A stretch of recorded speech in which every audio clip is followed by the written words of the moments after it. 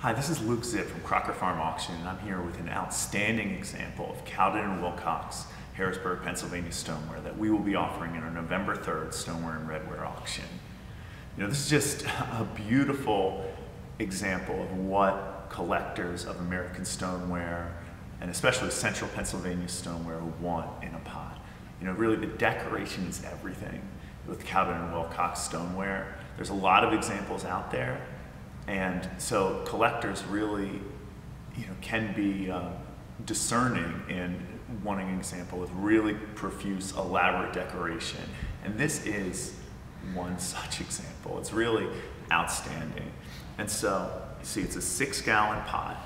And so it's a very large canvas for cobalt oxide decoration. And the type of stoneware that was being made at the Cowden Wilcox pottery is really New York State style stoneware, the type of stoneware that began in Rochester, New York around 1840 under the pottery of Nathan Clark. Just this pure South Amboy, uh, New Jersey clay, this pure gray, you know, almost whitish clay, making just a, a very clean canvas for cobalt oxide figural decorations. And so the, the potters, you know, under, at the pottery of Nathan Clark in Rochester, you know, John Berger decorations, just those really bold, elaborate figural designs that became kind of the favorite design motif in this New York style of stoneware, which then filtered down and bled down into Pennsylvania. And so what was being made in Harrisburg was so much different than what was the mid-Atlantic style that was being made in you know, Huntingdon County, Pennsylvania, in Philadelphia. The Harrisburg factories really favored New York style with that figural decoration.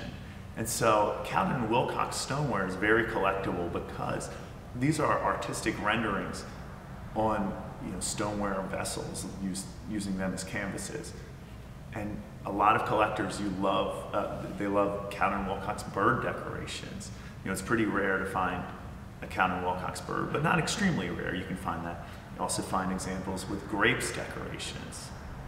This is awesome that it's, it's a very rare piece to have both and just this really bold, elaborate decoration executed perfectly on a pot. So you have a bird perched on a grapevine with clusters of grapes all around.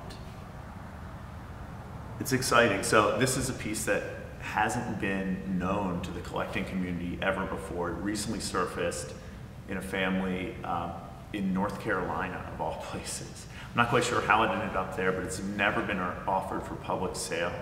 This, that's one of the privileges in our business. A lot of times we're the first, we, we get the first opportunity to offer a great piece to the public for a purchase. And so this is one such example. It will be in our November 3rd Stoneware and Redware auction.